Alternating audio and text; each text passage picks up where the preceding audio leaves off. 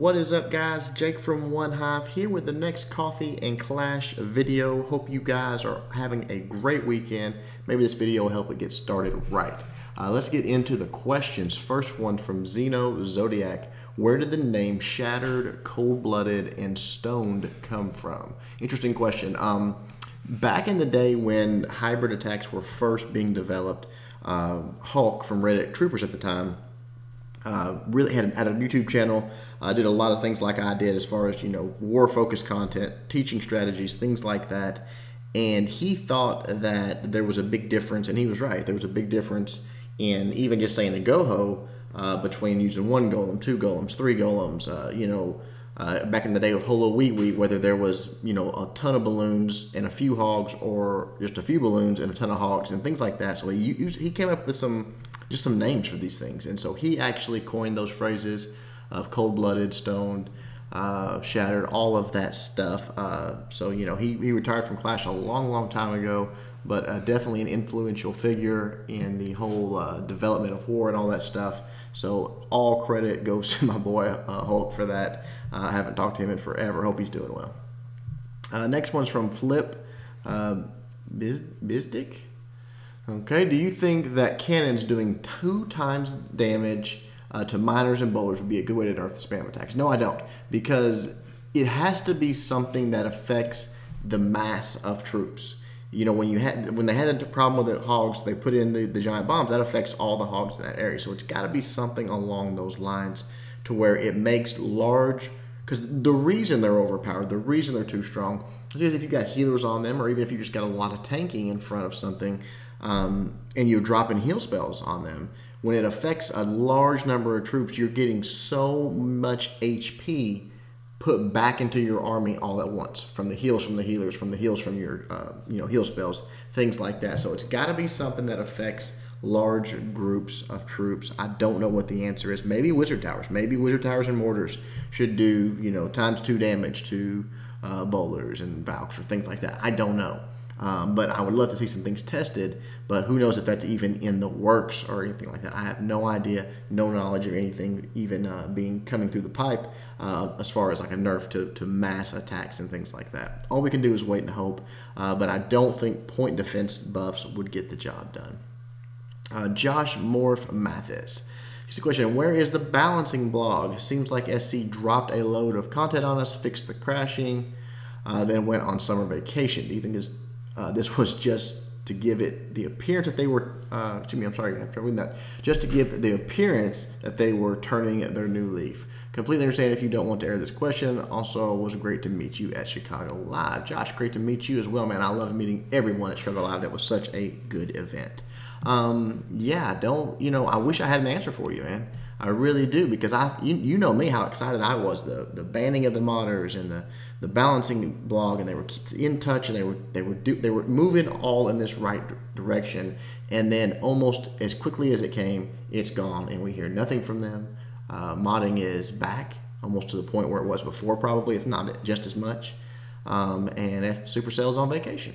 So that just is what it is. I don't know what to tell you. I can't explain it. It boggles the mind. They have a billion dollar company and they're on vacation. So um, I, I really wish I could tell you more. I really do.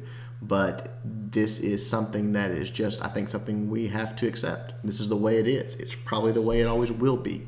Uh, we thought we had a new company in our hands, but it turns out nothing has changed. So it's unfortunate, but it is what it is, man. Uh, Iziel, I said that? Jerk De, De Leon. Hope I said that close enough. Sorry if I butchered it. Uh, CC question. You've been in YouTube for quite a long time now. How do you feel about your sub count? Well, I don't really, you know, honestly, to be I mean, I know about where I'm at. I have no idea what my quote sub count is. I don't look at it. I don't think about it. I'm proud of every sub that I've ever had. Uh, I thought it was a great accomplishment to break 100,000. Now I'm over 120,000 somewhere in there. Um, and so I'm proud of it. I, I, don't, I don't, you know, compare myself to others and worry about, oh, well, this person's got more subs than me or I've got more subs than them. I've never looked at it like that. This has never been a job for me. It's been something I love to do. Uh, so that's why I did it, and I think it's been great. It's been a great, uh, you know, it's been two years. I didn't realize it until my last stream. Someone told me that it was actually been two years since my first video. Um, and it's been an amazing two years. It's been fun, and it has been be something that I always remember. So, um, you know, again, the numbers just don't mean a lot to me. I hope I've made the game more fun for for a lot of people, and if that's the case, then I'm happy. Uh, Br- Brizing, Brizinger, Stenner. I think that's how you'd say that. Okay. Question. Hey, Jake, what's your opinion on emulators like BlueStacks that allow you to play COC on the PC? I've heard that emulators like that are often used for modding cheating reasons, but I'm thinking, talking strictly for fair play. I uh, never would have gotten into COC without BlueStacks. You know, it's interesting because I've never done anything like that. I don't, I can't imagine playing on a computer, playing Clash on a computer. I'm so used to do it with my hands. Um, I can't see what the downside is as far as like you know quote unquote not being fair play on a computer. Actually, I think it's probably more of a hindrance than it is an advantage. Um, just because you got one mouse and one one click, you know, when someone can do two, three finger drops and all those things like that, you can do that. You, you know, I think it's, I, I got no problem with it. You know, as long as it's not a, a, method of modding or cheating, what does it matter? You know, what you play on. Um, I've heard Supercell comment on this, and I don't really think they have a deep down problem with it because they know that tons of YouTubers uh, and streamers have, have used it and shown it being used. So I don't think they really look down on it that much, even though I think it does say that, that you're not supposed to do it. I don't get it. Who knows? Um, I don't look at it as any form of not being fair play. Uh, so, you know, blue stack it up, man, whatever. It's cool. Um, Bailey S. Would you ever consider pushing, maybe to get to Legend or Titan? I really like pushing and think I would enjoy watching you try to do it. No, I probably never will. Um, I did it back way back in the day when I first turned Town Hall 9. Uh, actually, I started pushing when I was Town Hall 8 and turned Town Hall 9, uh, and then I got to Champions. And really did not enjoy the experience. Um, wasn't something I would want to do again. You know, it doesn't mean I think everyone knows, and no disrespect to anyone that enjoys trophy pushing. That's awesome. I'm glad you enjoy that part of the game. Uh, I don't think it takes any skill. I think it takes an incredible time commitment to get up there really, really high. Um, but I don't think there's any real skill that required for it, especially in the state of the game right now with mass attacks that can basically three star bases. Uh, so not really something I'm interested in, but uh, I know a lot of people do enjoy it, so that's cool. Anthony Waldener. Why is Supercell so quiet this year? No events, no hype, nothing really. Or am I just living under a rock? No, you just sorry, you are living in the real world. Um, I don't know. Again, going back to that same answer before, I have no idea what's going on with Supercell. I don't know why they, they don't do things that they should do. Uh, I have encouraged them. I have talked to them directly and indirectly through videos. I have done everything that is humanly possible uh, to try to encourage them to, uh, you know, have events, to do live events, and all the things that, that they should be doing. Uh, talked about it leading up to, to ClashCon, but it's just not reality. That's not what's happening. It's likely not ever going to happen, um, and it's it, it's unfortunate. But uh, you know, no, you you are seeing it correct, sir. Um, nothing is happening. We don't hear from them anymore. It's been months since we've heard anything really from them. Um, and as far as a live event, I guess ClashCon was the last live event. You know, that year prior, there was a lot of live events. They were not well done, but they were live, and they were. It was activity. It was showing Clash. It's showing Supercell cared about Clash and cared about you know pushing that game forward. This year, nothing. So I, you know, I don't know. It makes it, it boggles the mind. But I think there's just no one at the wheel. I think to be perfectly bluntly honest, this is a just a rocket of a, of a company that went from nothing to one of the biggest gaming companies in the world, and no one is really at the helm. Um, no one is really keeping people's uh, you know nose to the grindstone. No one is doing that there. There's no supervision. Um, it's just sort of a I don't know. It's like a it's almost like a, a hippie thing, like a like a free you know just everybody do your best type thing. You know, everybody everybody gets a trophy when you when you try hard. I, I don't I can't explain it because I don't understand it, um, but it's it's it's not good. Uh, Chun Hong.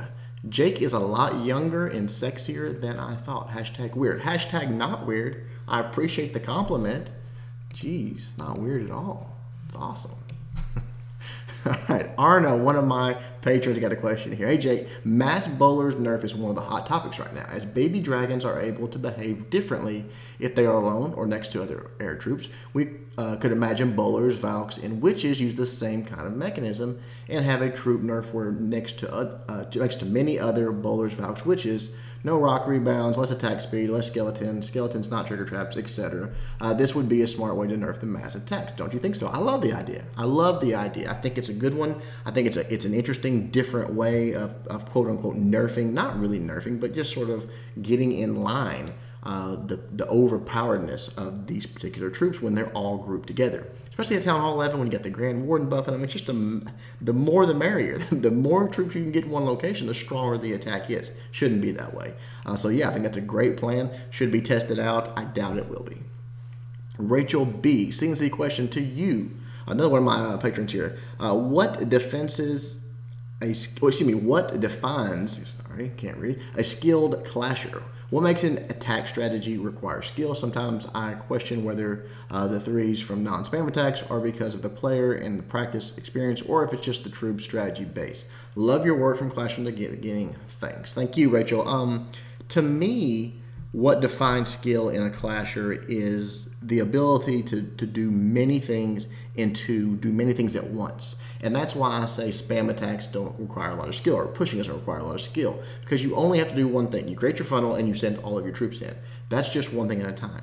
But when you have to have your kill squad going in, your queen walk going one direction, your kill squad going in, take the queen out uh, and dealing with that, and then you're deploying your hogs from the backside or your loons from the backside, and you're dropping spells, and you're watching your king's ability, you're watching your queen's ability, and you're doing it all at the same time. That requires skill. And if you don't think so, if you haven't ever done it, try it. You'll feel like you are completely lost in the attack. But time after time of doing it, doing it, doing it over and over and over, you get better. And in my mind, that is what skill is something that you have to practice. And then you get better at it. And other people can't do it, and you can because you've put the work in. Uh, so, really, that's how I define skill in Clash. Um, you know, people that just have these intricate attacks that have diff different segments, different parts of the attack, and they can do it all fluidly, seamlessly, and many times uh, with multiple segments of the attack going on at once. Those are the attacks that impress me. All right, guys, that is it for the CNC questions. Thank you guys so much for all the questions. Uh, we'll be streaming some this weekend, probably on Sunday, and then I know one next week, uh, so be looking out for that. Hope to see you guys there. Until then, Jake from One Hive doing my best to help you guys suck less.